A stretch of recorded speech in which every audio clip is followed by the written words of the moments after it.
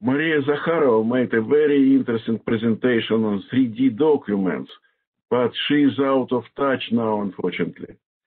Uh, let me quickly scroll through her report, very quickly. The problem of land cadastre is following. It's impossible to stick a flat map on the globe without cutting and crumbling the sheet, and vice versa. You can't translate the globe into exact flat map. This means that a flat cadastre cannot be accurate. So we need three-dimensional cadastre.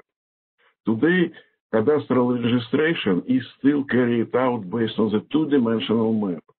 In the Russia, also separate projects are being developed for a three-dimensional representation of spatial, objects and uh, the creation of 3D model of sites, a unified system has not yet been created due to the lack of the necessity of legal framework.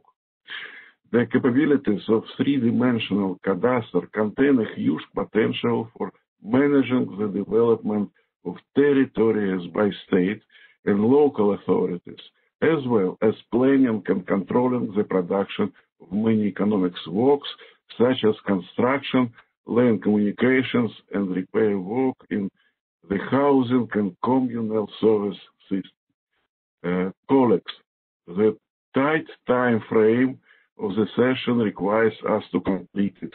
We started five minutes later, and we now we have to finish. Many thanks to everyone for participating.